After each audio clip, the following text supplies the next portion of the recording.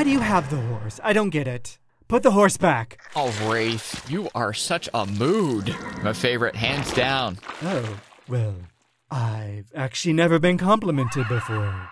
I'm not sure I like it. No, don't do it again.